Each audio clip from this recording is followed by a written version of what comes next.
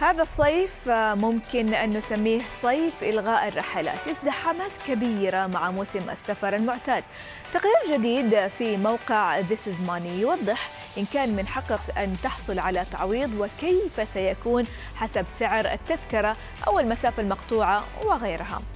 نتعرف على ذلك معا في هذه الفقرة خصوصا بعد إلقاء شركات الطيران باللوم على مشكلات في مراقبة الحركة الجوية وسوء الأحوال الجوية في أوروبا. بالإضافة للمشاكل التقنية.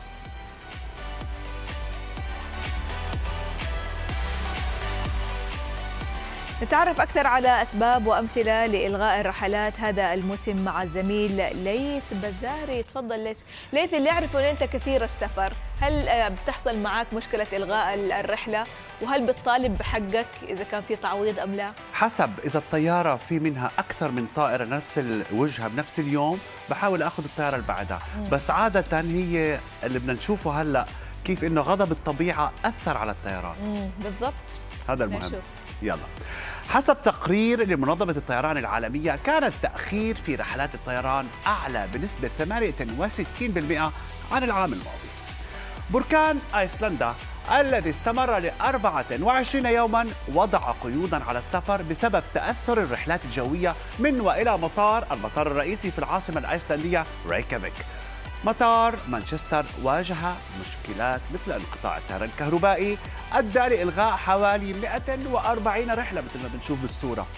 وأيضا كان هناك انقطاع واسع النطاق لخدمات شركة مايكروسوفت تسبب في تأخير عمليات check in أو تسجيل الوصول ما أدى لإلغاء وتعطيل الكثير من الرحلات. أما في أمريكا فقد تم تأجيل وإلغاء ألف ألف رحلة آلاف الرحلات بعد أن وصلت ال tropical storm ديبي أو العاصفة الاستوائية ديبي إلى اليابسة جنوب الولايات المتحدة في فلوريدا كإعصار من الفئة الأولى. وأخيرا بنروح على مطار كاتانيا بجزيرة صقلية الإيطالية. خفض عدد الرحلات القادمة بسبب تدفق الحمم البركانية وانبعاث الدخان من جبل إتنا المجاور للمطار. عودة إليك كريم وضيفك لنتحدث ونتعمق في هذا الموضوع المهم. شكرا لك ليث. رحب في الاستوديو بمحمد الرئيس المدير التنفيذي لشركة الرئيس للسفريات عشان يعطينا طبعا فكرة أوضح عن الأمور المتعلقة بتعويضات المسافرين. هلا وسهلا بك أستاذ محمد. مرحبا أهلا وسهلا. يعني بداية هل يفرق السبب إذا كان والله بسبب نفس الطيران أو خطوط الطيران أو بسبب أسباب تقنية تتعلق ببرج المراقبة أو حتى مثلا الكوارث الطبيعية؟ أول شيء متى يعتبر الموضوع تأخير؟ إذا تعدت ثلاث ساعات من موعد الإقلاع هنا أنت تعتبر الوضع في تأخير ومطالب أو أو أو ممكن تطلب بالتعويضات. من شركة الطيران. من شركة الطيران. نعم, نعم من شركة الطيران. وبعدين يختلف مثل ما أنت ذكرت إذا هي كوارث طبيعية ولا من من من من الشركة نفسها. ويعتمد من قارة لقارة. أكثر القارات يعني أوروبا مثلا عندها قانون واضح وصريح اللي هو 2004 261 من حيث التعويضات. يعني انه لازم سواء كان من كوارث طبيعية أو كان بسبب خلل فني ف يعني البروجرام واضح يعني شو التعويضات وكذا.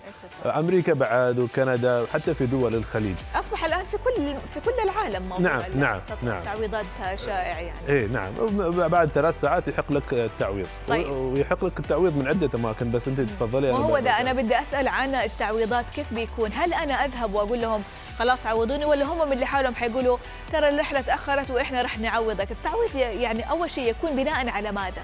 شوفي اول أول شيء على حسب. يعني مثلا إذا إذا الرحلة واضحة في تأخير وفي تكدس في المطار شركة الطيران غالبا هي اللي تجي وتقول لك إيه وطبعا أي شركة تحاول تعطيك المينيمم في التعويضات. طبعا. بعدين على حسب انت وحاجتك على حسب انت واهميتك ورايح المكان اللي فيه وهذا كله يعني negotiation تناقش طيب معهم بالنسبة لتأخير الرحلات الجوية هل تفرق ساعتين عن ثلاثة عن ست ساعات؟ نعم نعم. طيب. اي اي اذا إذا الرحلة تقريبا بالكيلومترات يحسبونها تقريبا من من 1000 من من صفر ل 1500 في أوروبا المبلغ ثابت 250 يورو من 1500 كيلو إلى 3500 كيلو 400 يورو. من من 3500 كيلو وانت طالع مسافة الرحلة يعني. نعم. آه، يحسب لك 600 يورو. في الخليج يختلف الوضع على حسب إذا رحلة طويلة محتاج ليلة محتاج إقامة ممكن يعوضونك بالفنادق ممكن يعوضونك بقسائم مشتريات الاشياء الضرورية مثل الملابس ومواد التنظيف وما شابه ذلك. فيعتمد من من من مكان والحالة ال- ال- المقدرة يعني. والله أنا أغلب شيء اللي إحنا بنشوفه لما بتتأخر الرحلة ثلاثة ساعات إلى ست ساعات مثلا وبنكون مضطرين نكمل نجلس في المطار يا إما بيدونا عصيرات يا إما بيدونا فوتشر سعرها 3 4 يورو ويقولوا لنا روحوا اشتروا من أماكن معينة يعني طبعا ما في شيء سعره في المطار ب 3 يا 4 يورو العصير سعره 6 يورو ونص بس أعتقد على حسب شركة الطيران وهو. ده هل إيه. شركة الطيران التجاري أو الاقتصادي تختلف عن شركات الطيران الكبرى مثلا؟ أكيد أكيد أنت دافع هنا اقتصادي هنا دافع شركة بشيء بخدمة نعم فاصلا يعني حتى في القوانين ال- ال- الأوروبية والأمريكية إذا الرحلة تأخير ثلاث ساعات وبهالحدود هو شو أكثر شيء التعويضات تكون اللي هي قسائم مشتريات اللي هي الأكل والشراب وجبة نعم. زائد دخول صالات المطار اللونش اللونش للإيرلاين إيه هذه الأشياء بعد ممكن تحصل عليها على حسب ال- ال- المده بعد طب لو مرت ثلاثة ساعات أو أو خلينا نقول تأجلت الرحلة ثلا- ثلاث ساعات ولا بتقوم مع الرحلة أو ال- شركة الخطوط مثلا أو شركة الطيران بأي إجراء زين. من التعويضات؟ أنا إيش أسوي؟ هذا هذا أهم سؤال طبعاً. لأن لأن بعض الأحيان أنت لازم آه، تلجأ في. في عدة طرق شوفي أول طريقة اللي هي شكوى في الدوائر المحلية على شركة الطيران وشركات الطيران تاخذ هذه الطريقة والتواصل مع الطيران مباشرة عن طريق الإيميل. وفي طريقة الناس دائما غافلين عنها. أيوه. معظم الناس اللي هم عندهم كريدت كارد البطاقه. الائتمانيه نعم.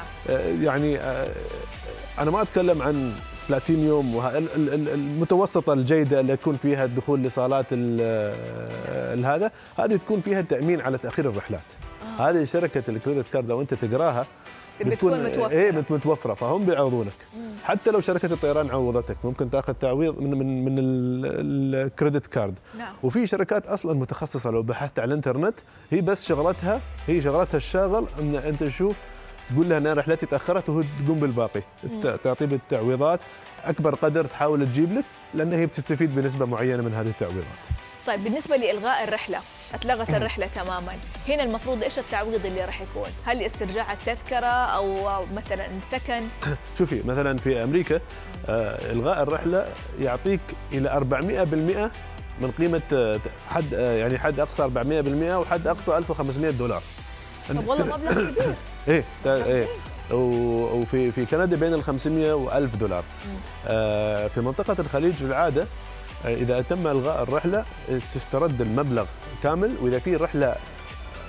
قريبة تروح لها أو إنه يعطونك خيار والله أنا آه، الرحلة عندي التغت في شركة أخرى بعد نص ساعة ساعة ساعتين أنا أتكفل بال بال بالرحلة هذه ممتاز بعدين يعتمد إذا أنت يعني حاجز service وال low cost فبيعطونك تعويض مادي. لكن أنت لو حاجز low cost وعلى شركة آه، آه، تجارية كبيرة نعم. ما راح تدفع شيء بس بيحولونك عليها وتروح يعني. طيب في موضوع أيضا تكرر آه، مع عديد من الناس اللي هو ال- خلينا نقول الحجز ال- الزايد. يعني مثلا أنا أكون حاجز عندي تذك- نعم. تذكرة بطلع على الطيارة يقولوا لي معلش الكرسي اتاخذ وكان في double. إيه. اثنين. هذا. هذا ال overbooking هذا دائما شركات الطيران تسويها لأن في كثير من من 5 إلى 7% no show دائما فهم يأخذون احتياطهم. أيوه. في هالحاله في في في طريقتين اللي هو النزول الطوعي يعني أنت تقول أنا يعني ما عندي مشكلة أنزل بس في الرحلة القادمة يعملوا لك ترقية upgrade طيب بشرط ال upgrade هي هي ولا ليش اللي حيخليني أنزل إيه، وأنتظر؟ لا طبعا إن الواحد ما. ب... والشيء الثاني إذا أنت يعني جيت متأخر للمطار وصلت متأخر والناس تسوي عند تشيك ان فإجباري إنك تنزل هنا تستحق الرحلة اللي بعدها زائد تعويض التذكرة أيوه يعني أنت الفرق بين الطوعي وال, وال... هذا إن أنا ممكن استرد قيمة التذكرة والرحلة الثانية تكون مجانية. ماذا عن الأمتعة ال- التالفة؟ يعني إحنا عارفين المفقودة ممكن بيلاقوها بعد كم يوم وبيرجعوها لنا وكذا، وأحيانا المفروض لازم يوصلوها لمقر إقامتنا كمان هذا اللي أعرفه، طب ماذا لو كانت تالفة؟ الشنطة تقطعت، الأغراض طلعت منها، لقيتها مفتوحة لا مثلاً. الطيران تتحمل.